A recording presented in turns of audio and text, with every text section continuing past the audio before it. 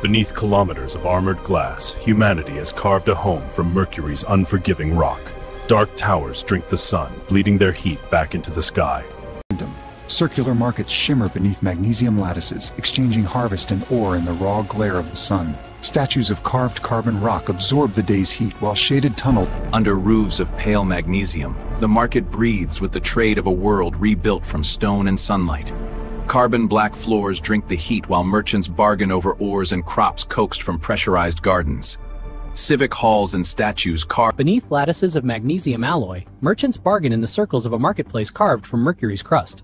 Sunlight trickles through translucent panels, reflecting off crates of crystalline produce and tools forged from native metal. Civic heartbeats, libraries and museums hewn from As dusk sweeps across Mercury, domes of silicate glass blaze gold against the vast, dark plains.